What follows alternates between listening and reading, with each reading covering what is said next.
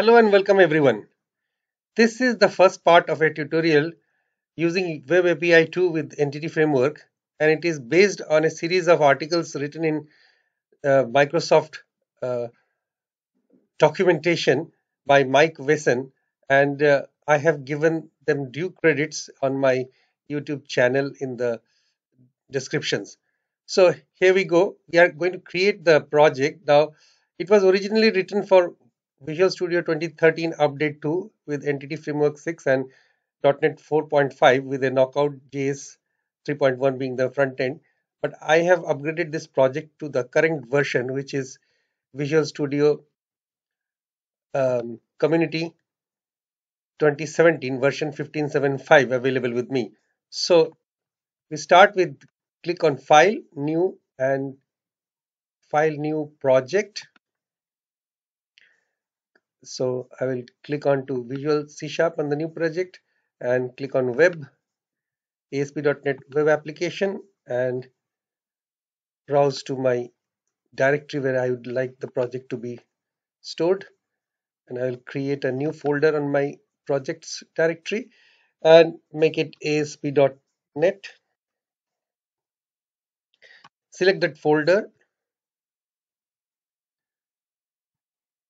and give this project a name bookstore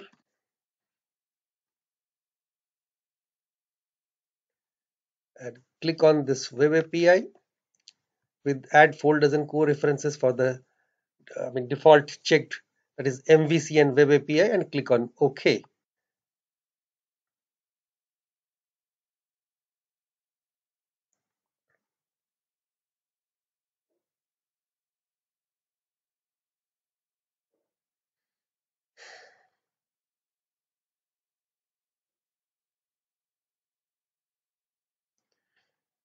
Now the project is created for me.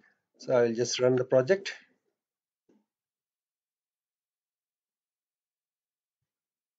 Just to examine the contents.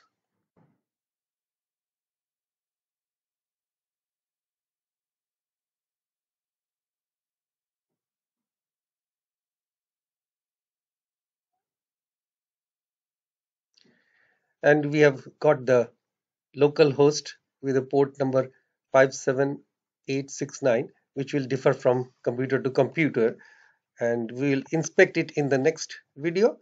So please subscribe to my channel if you like it and we'll go for the second part. Thanks for watching. Bye